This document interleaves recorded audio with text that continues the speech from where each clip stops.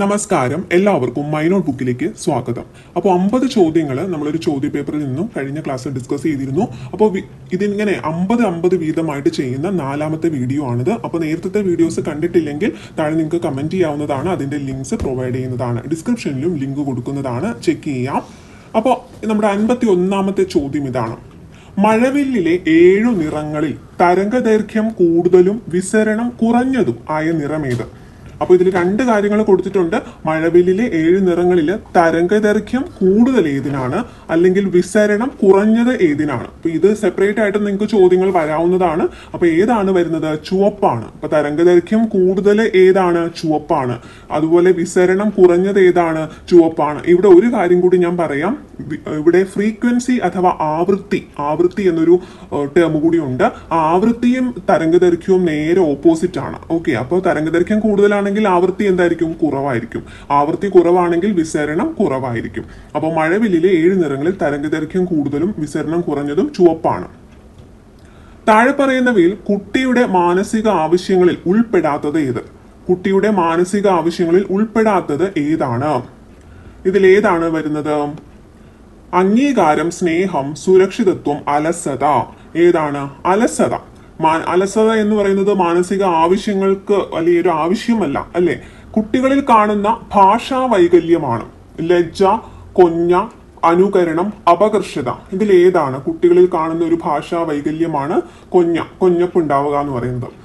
അടുത്തത് സത്യസന്ധത ദയ ധാർമ്മിക മൂല്യങ്ങൾ എന്നിവ കുട്ടികളിൽ വളർത്തുമ്പോൾ അവരിൽ ഏത് വികാസം ഉണ്ടാകുന്നു സത്യസന്ധത ദയ ധാർമ്മിക മൂല്യങ്ങൾ എന്നിവ കുട്ടികളിൽ വളർത്തുമ്പോൾ അവരിൽ ഏത് വികാസമാണ് ഉണ്ടാകുന്നത്? ഏത് വികാസമാണ്? നൈതിക വികാസമാണ് അവർക്ക് ഉണ്ടാകുന്നത്. ഇനി അടുത്ത ചോദ്യം. പ്രീ സ്കൂൾ കുഞ്ഞിന്റെ മാനസിക ഉല്ലാസത്തിന് സ്കൂളിൽ സ്കൂളുകളിൽ നിർബന്ധമായും ഉണ്ടായിരിക്കേണ്ടത് എന്താണ്? പ്രീ സ്കൂൾ കുഞ്ഞിന്റെ മാനസിക ഉല്ലാസത്തിന് സ്കൂളുകളിൽ നിർബന്ധമായും ഉണ്ടായിരിക്കേണ്ട ഒരു കാര്യമാണ് കളികൾക്കുള്ള പാർക്ക്. കളികൾക്കുള്ള പാർക്ക്. പ്രീ സ്കൂൾ കുഞ്ഞിന്റെ ഭാഷാ വികാസത്തിന് നൽകാറുള്ള ഒരു പഠന പ്രവർത്തനമാണ്. പ്രീ സ്കൂൾ കുഞ്ഞിന്റെ ഭാഷാ വികാസത്തിന് നൽ- നൽകാറുള്ള ഒരു പഠന പ്രവർത്തനമാണ് ഏത്? കഥ പറച്ചിൽ. ഭാഷ വികസിക്കുന്നതിന് പറയുന്ന ഒരു പഠന പ്രവർത്തനമാണ് കഥ പറച്ചിൽ.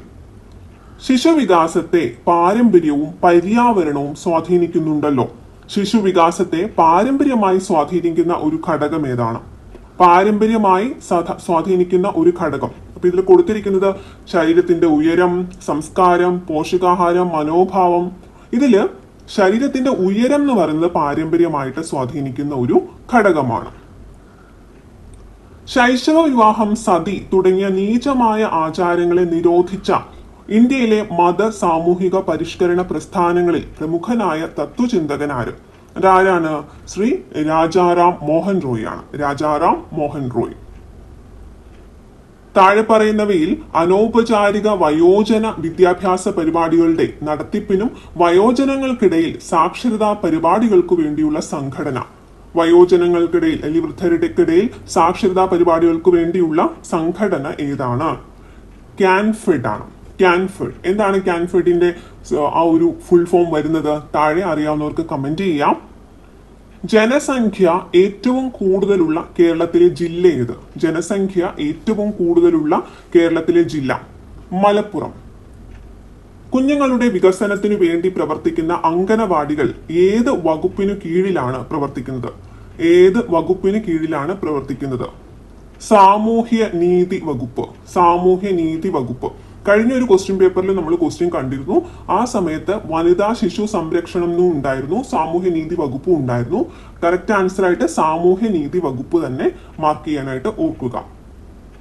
താഴെ പറയുന്നവയിൽ ശിശു പാഠ്യ പദ്ധതി രൂപീകരണ തത്വങ്ങളുടെ അടിസ്ഥാനത്തിൽ ഉൾപ്പെടാത്തത് ഏത്?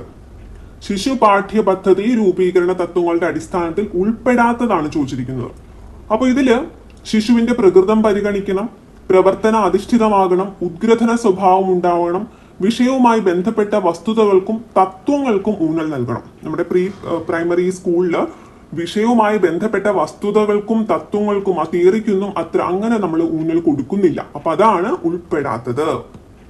കേരളത്തിലെ പ്രഥമ ഗോത്രവർഗ പഞ്ചായത്തായ ഇടമലക്കുടി സ്ഥിതി ചെയ്യുന്ന ജില്ല. അപ്പോൾ കേരളത്തിലെ പ്രഥമ ഗോത്രവർഗ പഞ്ചായത്ത് ഏതാണ്? ഇടമലക്കുടി. അത് ഏത് പഞ്ചായത്ത് അത് ഏത് ജില്ലയിലാണ് ആ പഞ്ചായത്ത് ഉള്ളത്? ഏത് ജില്ലയിലാണ്? ഇടുക്കി. ഒരു പ്രീ സ്കൂൾ അധ്യാപികയും ആയയും നിർബന്ധമായും അറിഞ്ഞിരിക്കേണ്ടതും പഠിക്കേണ്ടതുമായ വസ്തുതകൾ താഴെ പറയുന്നവയിൽ ഏതെല്ലാമാണ്? ഒരു പ്രീ സ്കൂൾ അധ്യാപിക ആയ നിർബന്ധമായും അറിഞ്ഞിരിക്കേണ്ടത്. അതുപോലെ പഠിക്കേണ്ടത്. പോഷകാഹാരം പ്രതിരോധ കുത്തിവയ്പ് പ്രാഥമിക ശുശ്രൂഷ ഇവയെല്ലാം എന്നാണ്. അപ്പൊ നമുക്കറിയാം ഇവയെല്ലാം ആവശ്യമാണ്. ഓപ്ഷൻ ഡി ആണ് കറക്റ്റ്. എഡ്യൂസാറ്റ് സൗകര്യങ്ങൾ കേരളത്തിലെ സ്കൂൾ വിദ്യാഭ്യാസ മേഖലയിൽ എത്തിക്കുന്നതിനായി വിദ്യാഭ്യാസ വകുപ്പ് ആവിഷ്കരിച്ച പദ്ധതിയാണ്. എഡ്യൂസാറ്റ് സൗകര്യങ്ങൾ കേരളത്തിലെ സ്കൂൾ വിദ്യാഭ്യാസ മേഖലയിൽ എത്തിക്കുന്നതിനായി വിദ്യാഭ്യാസ വകുപ്പ് ആവിഷ്കരിച്ച പദ്ധതിയാണ് ഏത്? വിക്ടേഴ്സ്. നമുക്കറിയുന്ന കാര്യമാണ് വിക്ടേഴ്സ് ചാനൽ. ഒക്കെ ഇപ്പോൾ ക്ലാസ്സുകൾ പ്രൊവൈഡ് ചെയ്യുന്നൊക്കെ എല്ലാവർക്കും അറിയാം. വിക്ടേഴ്സ് ആണ്. ഇന്ത്യൻ ഭരണഘടനയുടെ ശില്പി എന്നറിയപ്പെടുന്ന മഹാനാര് ഇന്ത്യൻ ഭരണഘടനയുടെ ശില്പി ആരാണ്? Doctor B R Ambedkar. Doctor B R Ambedkar. Kerala സംസ്ഥാനം രൂപീകൃതമായ വർഷം. കേരള സംസ്ഥാനം രൂപീകൃതമായ വർഷം ഏതാണ്? ആയിരത്തി തൊള്ളായിരത്തി അൻപത്തി ആറ്. വിദ്യാഭ്യാസ ഗുണനിലവാരം മെച്ചപ്പെടുത്തുന്നതിനും കുട്ടികളുടെ ക്ഷേമത്തിനും വേണ്ടി നിലകൊള്ളുന്ന ഒരു അന്താരാഷ്ട്ര ഏജൻസി. ഏതാണ്? അന്താരാഷ്ട്ര ഏജൻസി. നമുക്കറിയാം ഏതാണ്? യൂണിസെഫ്. യൂണിസെഫ്. നവോത്ഥാന പ്രസ്ഥാനമായ ആര്യ സമാജം സ്ഥാപിച്ചത് ആര് ആര്യ സമാജം സ്ഥാപിച്ചത് Swami Dayananda Saraswati. Swami Dayananda Saraswati. Education of man എന്ന പ്രശസ്തമായ ഗ്രന്ഥം രചിച്ച വിദ്യാഭ്യാസ ചിന്തകൻ എഡ്യൂക്കേഷൻ ഓഫ് മാൻ എന്ന പ്രശസ്തമായ ഗ്രന്ഥം ഗ്രന്ഥം രചിച്ച വിദ്യാഭ്യാസ ചിന്തകൻ ആരാണ്? ആരാണ് ഫ്രോബൽ അപ്പൊ ഈ ഒരു ബുക്കിന്റെ പേര് ഓർത്തു വെക്കുക. ഫ്രോബൽ എഴുതിയതാണ് എഡ്യൂക്കേഷൻ ഓഫ് മാൻ കുട്ടികളിൽ കാണുന്ന ഒരു പെരുമാറ്റ വൈകൃതമാണ്. പെരുമാറ്റ വൈകൃതം. നോക്കൂ വിരൽ കുടി തലവേദന പഠന സമ്മർദ്ദം വയറുവേദന. ഏതാണ്? വിരൽ കുടി മംസ് എന്ന വൈറസ് ഉമിനീർ ഗ്രന്ഥികൾക്ക് ഉണ്ടാക്കുന്ന രോഗത്തിന്റെ പേരെന്താണ്? മംസ് എന്ന വൈറസ് ഉണ്ടാക്കുന്ന രോഗം ഉമിനീർ ഗ്രന്ഥികൾക്കാണ്. ഏതാണ്? ചിക്കൻ ബോക്സ് അഞ്ചാപ്പനി ജലദോഷപ്പനി മുണ്ടിനീര്. ഏതാണ് ആൻസർ? മുണ്ടിനീരാണ് ആൻസർ. ഒരു ഇന്ത്യൻ കുഞ്ഞിന് ജനന സമയത്ത് ഉണ്ടായിരിക്കേണ്ട ശരാശരി തൂക്കം എത്ര കിലോഗ്രാം ആണ് എത്ര കിലോഗ്രാം ആണ് ഒരു ശരാശരി ഉണ്ടായിരിക്കേണ്ടത് എന്ന് പറയുന്നത്? മൂന്ന് കിലോഗ്രാം ആണ് കുഞ്ഞിന്റെ വൈജ്ഞാനിക മേഖല വികാസം പ്രാപിക്കുന്നതിനു വേണ്ടി നൽകാവുന്ന ഏറ്റവും ഉചിതമായ ക്ലാസ് റൂം പ്രവർത്തനം ഏതാണ്? വൈജ്ഞാനിക മേഖല വികാസം പ്രാപിക്കുന്നതിനു വേണ്ടി നൽകാവുന്ന ഏറ്റവും ഉചിതമായ ക്ലാസ് റൂം പ്രവർത്തനമാണ് ചോദിച്ചിരിക്കുന്നത്. ഏതാണ്? വസ്തുക്കളെ തരംതിരിക്കലാണ്. വസ്തുക്കളെ തരംതിരിക്കൽ. ശിശുവിന്റെ ജനനശേഷം ശരീരത്തിലെ ഏത് പേശികളാണ് ആദ്യം വികാസം പ്രാപിക്കുന്നത്? ശിശുവിന്റെ ജനനശേഷം ശരീരത്തിലെ ഏത് പേശികളാണ് ആദ്യം വികാസം പ്രാപിക്കുന്നത്? ഏതായിരിക്കും? കഴുത്ത്. ഹൈപ്പോ തൈറോയിഡിസം എന്ന രോഗാവസ്ഥ ശരീരത്തിൽ ഏത് മൂലകത്തിന്റെ കുറവ് മൂലമാണ് ഉണ്ടാകുന്നത് ഹൈപ്പോ തൈറോയിഡിസം ഉണ്ടാവുന്നത് അയഡിന്റെ കുറവ് മൂലമാണ്. അയഡിൻ. സ്വത്വ സാക്ഷാത്കരണം ആണ് ഓരോ വ്യക്തിയുടെയും അന്തിമമായ അഭിപ്രേരണ ആകേണ്ടത് എന്നഭിപ്രായപ്പെട്ട മനഃശാസ്ത്രജ്ഞൻ ആരാണ്? സ്വത്വ സാക്ഷാത്കരണമാണ് ഓരോ വ്യക്തിയുടെയും അന്തിമമായ അഭിപ്രേരണ ആകേണ്ടത് എന്ന് അഭിപ്രായപ്പെട്ട മനഃശാസ്ത്രജ്ഞനാണ് ആര്? Abraham Maslow. എബ്രഹാം മാസ്ലോ ആണ് അങ്ങനെ പറഞ്ഞത്. പ്രീ സ്കൂളുകളിൽ കളി രീതിയാണ് ബോധന രീതിയായി നടപ്പാക്കേണ്ടതെന്നും കളികൾക്ക് കൂടുതൽ പ്രാധാന്യം നൽകിയതുമായ ദാർശനികൻ വിദ്യാലയത്തെ ഉപമിച്ചത്. പ്രീ സ്കൂളുകളിൽ കളിരീതിയാണ് ബോധന രീതിയായി നടപ്പാക്കേണ്ടതെന്നും അതുപോലെ കളികൾക്ക് കൂടുതൽ പ്രാധാന്യം നൽകണം എന്ന് പറഞ്ഞ ദാർശനികൻ അദ്ദേഹം വിദ്യാലയത്തെ ഉപമിച്ചത് എങ്ങനെയാണ്? വിദ്യാലയത്തെ ഒരു പൂന്തോട്ടമായിട്ടാണ് ഉപമിച്ചത്. താഴെ പറയുന്ന വ്യക്തിത്വ നിർണയ സവിശേഷതകളിൽ ആൽപോർട്ട് എന്ന മനഃശാസ്ത്രത്തിന്റെ സവിശേഷതകളിൽ ഉൾപ്പെടാത്തത് ഏത്? താഴെ പറയുന്ന വ്യക്തിത്വ നിർണയ സവിശേഷതകളിൽ ആൽപോർട്ട് എന്ന മനഃശാസ്ത്രജ്ഞന്റെ സവിശേഷതകളിൽ പെടാത്തതാണ്. ഇതിൽ ദ്വിതീയ സവിശേഷത കേന്ദ്ര സവിശേഷത മുഖ്യ സവിശേഷത ഇതൊക്കെ അദ്ദേഹത്തിന്റെ സവിശേഷതയിൽ പെടുന്നതാണ്. പക്ഷെ അതിൽ പെടാത്തതാണ് പ്രഭവ സവിശേഷത. പ്രഭവ സവിശേഷത. മാനവിക മാനവികതാവാദിയായ കാൾ റോജേഴ്സ് കാൾ റോജേഴ്സിന്റെ അഭിപ്രായത്തിൽ പഠനക്രിയ പഠന പ്രക്രിയയിൽ മുഖ്യ സ്ഥാനം നൽകേണ്ടത് ആർക്കാണ്? മാനവികതാവാദിയായ കാൾ റോജേഴ്സ് അദ്ദേഹത്തിന്റെ അഭിപ്രായത്തിൽ പഠന പ്രക്രിയയിൽ മുഖ്യ സ്ഥാനം നൽകേണ്ടത് ആർക്കാണ്? പഠിതാവിനാണ്. പഠിതാവിന് തന്നെ. വനമേഖലകളിൽ നിന്നും ആദിവാസി മേഖലകളിൽ നിന്നും കുട്ടികളെ സ്കൂളുകളിൽ എത്തിക്കുന്നതിനു വേണ്ടി സംസ്ഥാന സർക്കാർ രണ്ടായിരത്തി പതിമൂന്നിൽ ആരംഭിച്ച പദ്ധതിയുടെ പേര്. വനമേഖലകളിൽ നിന്നും ആദിവാസി മേഖലകളിൽ നിന്നും കുട്ടികളെ സ്കൂളുകളിൽ എത്തിക്കുന്നതിനു വേണ്ടി സംസ്ഥാന സർക്കാർ രണ്ടായിരത്തി പതിമൂന്നിൽ ആരംഭിച്ച പദ്ധതിയുടെ പേരെന്താണ്? എന്താണ്? ശാലാ സിദ്ധി ഓപ്ഷൻ എ ആണ് ശാലാ സിദ്ധി സാധാരണ കുട്ടികളിൽ കാണപ്പെടുന്ന ഒരു പഠന വൈകല്യമായി അറിയപ്പെടുന്നത് അപ്പൊ ഇത് കുറേ ക്വസ്റ്റ്യൻ പേപ്പറിൽ നമ്മൾ കണ്ടതാണ് അല്ലെ? ഡി ഡിലക്സിയ എന്നല്ല അതിനകത്ത് വരുന്ന ഡിസ്ലെക്സിയ എന്നാണ് ഡിസ്ലെക്സിയ താഴെ പറയുന്നവയിൽ സിഗ്മൺ ഫ്രോയിഡിന്റെ മനസ്സിനെ കുറിച്ചുള്ള പഠനത്തിൽ മനസ്സിന്റെ അറകൾ എന്നതിൽ ഉൾപ്പെടാത്തത് ഏത്? താഴെ പറയുന്നവയിൽ സിഗ്മൺ ഫ്രോയിഡിന്റെ മനസ്സിനെ കുറിച്ചുള്ള പഠനത്തിൽ മനസ്സിന്റെ അറകൾ എന്നതിൽ ഉൾപ്പെടാത്തതാണ് ചോദിച്ചിരിക്കുന്നത്. ഇത് ഈഗോ പ്ലീഹ സൂപ്പർ ഈഗോ. ഇതിൽ ഇത് ഈഗോ സൂപ്പർ ഈഗോ ഒക്കെ ഉണ്ട്. നമുക്ക് സിഗ്മൺ ഫ്രോയിഡിന്റെ പഠനം നമുക്ക് പഠിക്കാം. അപ്പൊ അതിൽ പ്ലീഹയാണ് ആൻസർ വരുന്നത്. ഇതിൽ പെടാത്തത് ഇതാണ്. രണ്ടായിരത്തി പതിനേഴിലെ ലോകാരോഗ്യ ദിനത്തിന്റെ വിഷയമായി തിരഞ്ഞെടുത്ത സന്ദേശം ഏത് മേഖലയുമായി ബന്ധപ്പെട്ടിരിക്കുന്നു? ഇത് രണ്ടായിരത്തി പതിനേഴിലെയാണ് ആ സമയത്ത് ക്വസ്റ്റ്യൻ പേപ്പർ ആയതുകൊണ്ടാണ്. അപ്പൊ ഏറ്റവും ലേറ്റസ്റ്റ് ആയിട്ട് ഇതുപോലെയുള്ള ചോദ്യങ്ങൾ ചോദിക്കാം. നമ്മൾ അതിന്റെയൊക്കെ വീഡിയോസ് ആ ഓരോ ഡേയ്സ് പ്രത്യേകത വരുമ്പോൾ നമ്മൾ ചെയ്യാറുണ്ട്.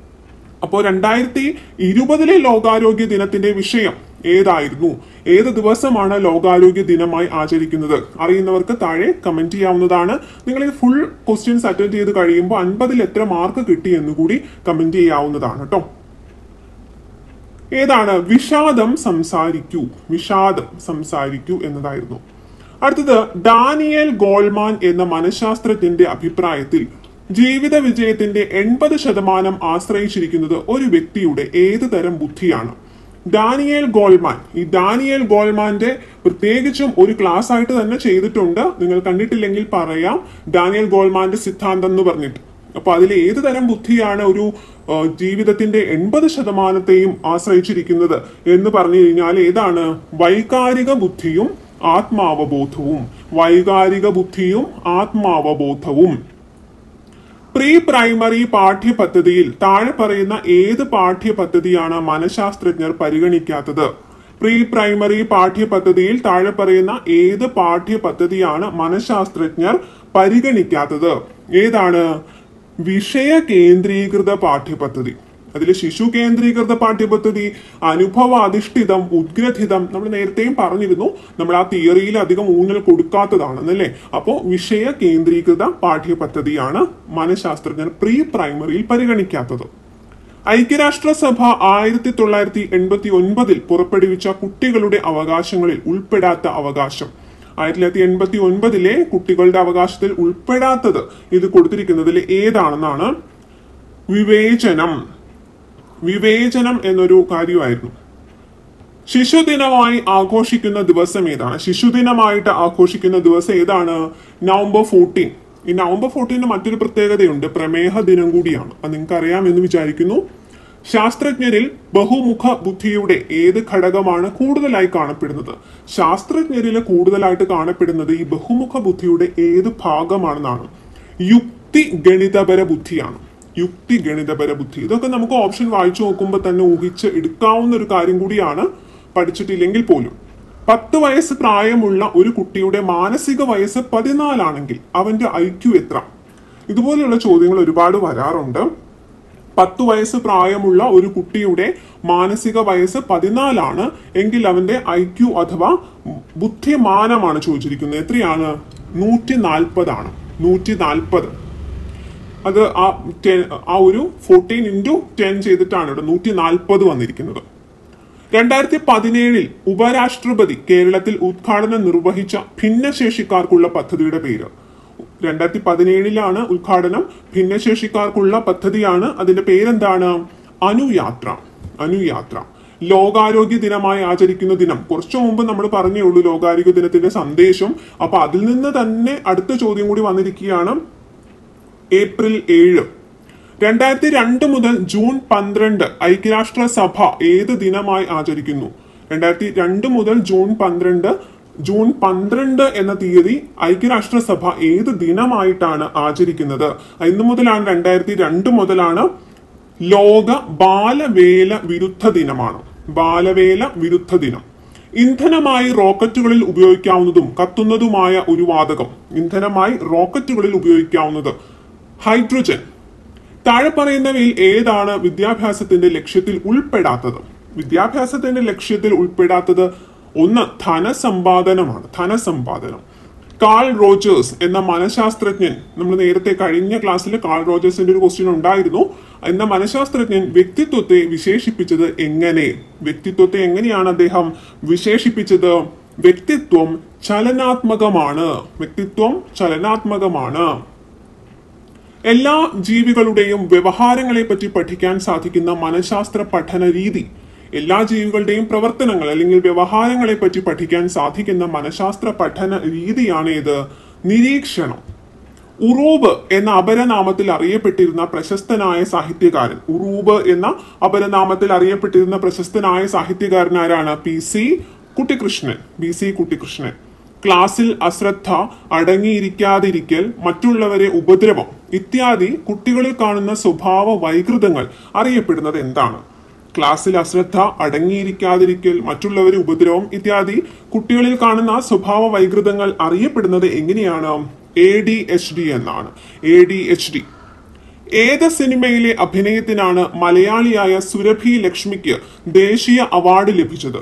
ഏത് സിനിമയിലെ അഭിനയത്തിനാണ് മലയാളിയായ സുരഭി ലക്ഷ്മിക്ക് ദേശീയ അവാർഡ് ലഭിച്ചത്? മിന്നാമിനുങ്ങ് മിന്നാമിനുങ്ങ. അപ്പൊ ഇത്രയാണ് നമ്മുടെ നൂറ് ചോദ്യങ്ങൾ എന്തെങ്കിലും ഡൗട്ട് ഉണ്ടെങ്കിൽ നിങ്ങൾക്ക് പറയാം. ഈ ഷോർട്ട് ആയിട്ട് പറഞ്ഞിരിക്കുന്നതിന്റെയൊക്കെ ഫുൾ ഫോംസ് നിങ്ങൾക്ക് അറിയില്ലെങ്കിൽ താഴെ ഇൻക്ലൂഡ് ചെയ്യാനായിട്ട് ശ്രമിക്കാം. ഇനി ആർക്കെങ്കിലും ഈ ഒരു ക്വസ്റ്റ്യൻസ് ചോദിക്കുന്നതിന്റെ ആൻസർ ഒക്കെ കിട്ടുമ്പോൾ അത് നിങ്ങൾക്ക് താഴെ കമന്റ് ആയിട്ട് കൊടുക്കാം. മറ്റുള്ളവർക്ക് ഹെൽപ്പ് ആകും. അഡീഷണൽ ആയിട്ട് എന്തെങ്കിലും ഇൻഫോർമേഷൻ ഉണ്ടെങ്കിലും കമന്റ് ചെയ്യാനായിട്ട് ശ്രദ്ധിക്കുക. Thank so much